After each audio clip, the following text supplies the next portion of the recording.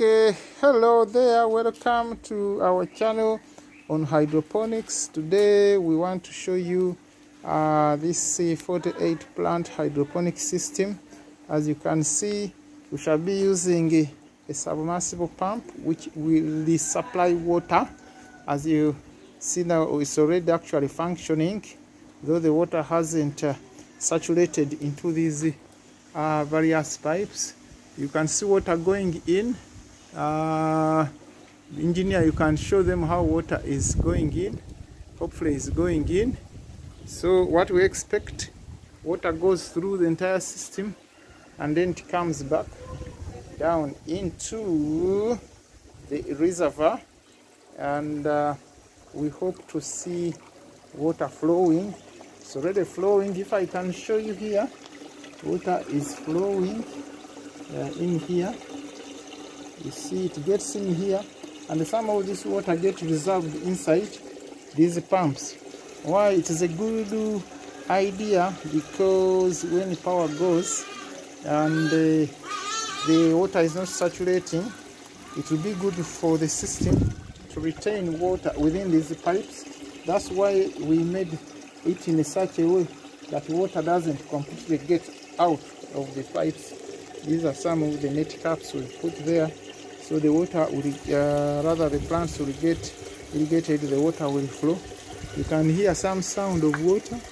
It's flowing. If i show you here water is flowing nicely. And uh, the system is working well in all the in all the in all the in all the uh, pipes. So water is flowing as you can see and uh, yeah this is how the system is going to work. Uh, no issues. And uh, we look forward to having it uh, uh, having it uh, completed with a bit of painting. So you can see water is returning to the reservoir. So that's the idea of hydroponics farming. That's why sometimes it's good to buy a smaller pump like that one.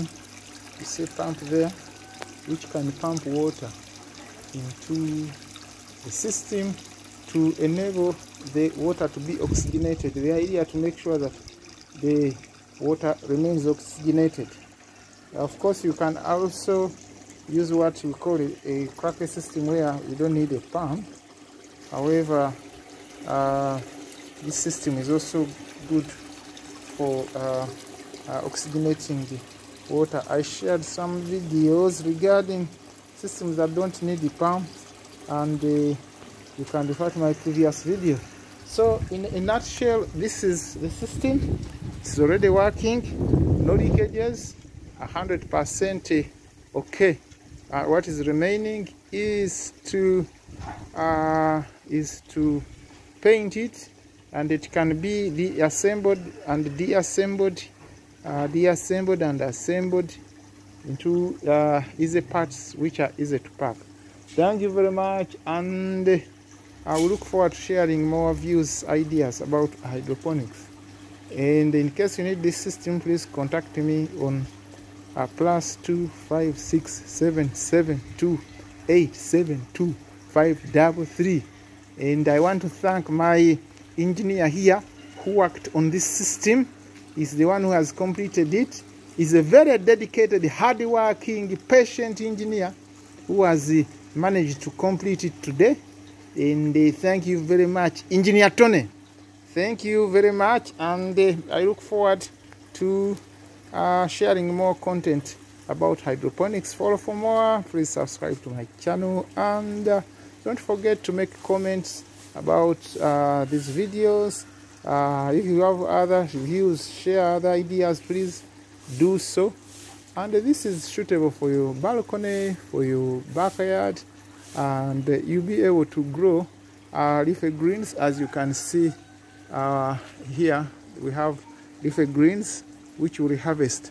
So in short that's what we had to share and uh, this is 48 plants and uh, I, am sure 48 plants is just enough for your family to and uh, it can supply you with uh, leafy vegetables throughout the year.